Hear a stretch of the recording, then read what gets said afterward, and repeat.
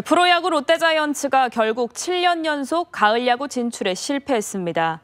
명장 김태형 감독까지 영입하면서 여느 때보다 팬들의 기대감이 참 높았는데 또다시 내년을 기약하게 됐습니다. 이승엽 기자가 이 소식 전하겠습니다. 가을 야구에 대한 신락 같은 희망을 이어가기 위해 반드시 잡아야 했던 KT전.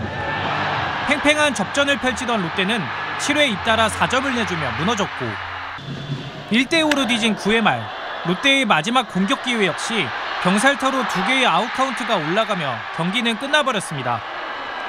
결국 롯데는 지난 2018년 이후 7년 연속 가을 야구 진출 실패를 확정지었습니다. 이올 시즌을 이제 마지막 희망을 앗아가는 게임이지 않습니까? 올 시즌을 앞두고 롯데의 새 사령탑을 맡은 김태형 감독은 목표를 가을 야구 진출이라고 못 박았지만 결국 부임 첫 해 그 목표를 이뤄내지 못했습니다. 가을 야구 1차 목표에서 가을 야구 승기가 잡히면 코리안 시리즈까지 가는 거고. 전체 타율 2위와 200안타 대기록 달성을 눈앞에 둔 레이에스와 마운드를 든든히 지킨 반주와 윌커슨까지 외국인 선수들이 올 시즌 맹활약하며 그간의 외국인 잔혹사는 끊어냈지만 에이스 박세영의 부진과 선발 한 축을 담당했던 나균환의 사생활 논란, 대부분의 지표에서 하위권에 머무른 불펜진 등 투수진의 전반적인 부진이 뼈아팠습니다.